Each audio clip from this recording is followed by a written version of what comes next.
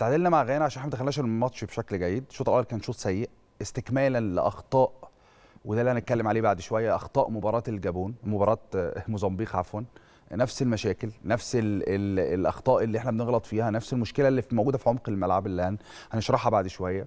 الدخول عدم توفيق محمد النني إصرار فيتوريا عليه فتح الملعب تماما علينا من العمق رغم إن غانا ما سددتش علينا كتير ما اشتغلتش علينا كتير الشوط الأول. الشوط كان بينتهي بأداء مخيب من الفريقين وده كان أظن العنوان اللي كان يتصدر كل شيء ما بين الشوطين. لكن في النهاية خطأ متكرر اتعملت ثلاث مرات في الشوط الأول. فده كان السبب الرئيسي. ال- المشكلة الثانية الروح. أنا سامعك قبل ما ادخل على طول بتتكلم عن الروح. لا هي الروح عامل مهم في كرة القدم. طبعا. في بعض اللاعب في بعض اللاعبين في المباراة النهارده تبين أدائهم ما بين الشوط الأول والشوط الثاني بسبب الروح. اكلمك على مصطفى محمد ولقطة مهمة جدا جدا نتكلم عليها في في نهاية ال- الفقرة. على الكرة يمكن الناس ما خدتش بال- بالها منها قبل الجون على طول.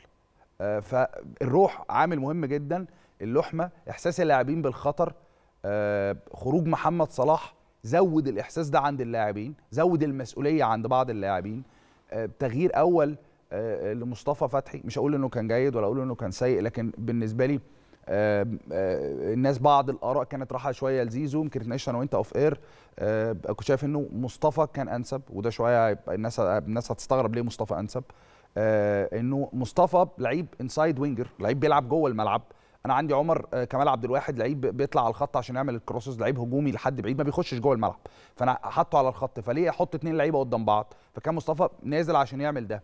في المقابل في بعض الآراء كانت بتقول زيزو يكون موجود الحدة البدنية عند زيزو أكتر. آه، لاعب زيزو بقى في المكان اللي هو بيلعب فيه لاعب زيزو في المكان الجناح اللي بيتألق فيه. لكن النهارده ما كانتش مباراة زيزو ده وجهة نظري. كنت شايف إنه كان ممكن يبقى ليه دور لكن آه، نزول مصطفى فتحي الحكم كان كان. ليه دور النهارده في التعادل؟ ب- بيير أتشو وسعيسة. سعيسه حكم الفار ذبحونا النهارده ذبحونا أنا شوف أنا عمال بتكلم كان عندنا أخطاء وبنكرر اخطائنا وعندنا مشاكل واللعيبة كان الشوط الأول ما كانش روح كفاية والشوط الأول كان مخيب للأمال كل الكلام ده علشان الناس بتيجي دايما تقول لك آه علقوا لنا بقى شماعه التحكيم. لا الحكم ذبحنا الحكم بالفار بالمساعدين ذبحونا النهارده.